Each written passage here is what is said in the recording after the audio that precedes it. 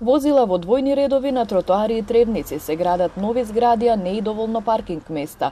Вака тетовчани опишуваат состојбата со паркирањето во градот. Новината ја гледаат и во самите возачи кои со автомобилите сакаат да дојдат и до пред врата. Нема никаде паркираш кола, не може да поминеш. Да се отвара кафана и у кафана да влезе или у дуќана со кола. Ком биде? Кола седи дома. Ради паркирање.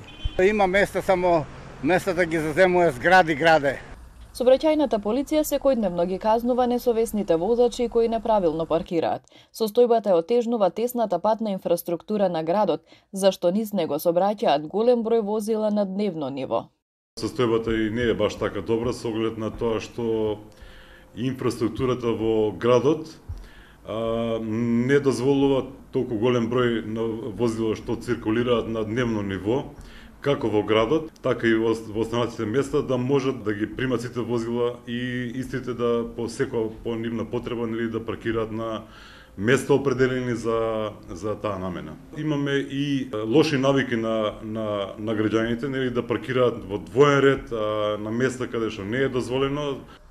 Изградба на катни гаражи не е ни на повидок, иако ги вети локалната самоуправа. Сега вели дека има проблеми со избраните локации, а за да се најдат нови, треба промена на деталниот урбанистички план за маркици.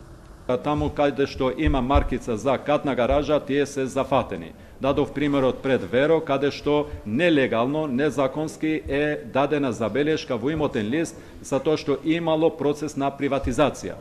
А, другата локација каде што има маркица за кадна гаража е кај а, спортски центар нели кај ќошот пред а, спортската сала, каде што исто така има прибелешка за тоа што има во процес на легализација. Неголемиот метеж во Тетово се прави во така наречените вообичаени шпицови за време на одење или враќање од работа. Поголеми гужви обично се создаваат во понеделник и петок, но и на пазарен ден.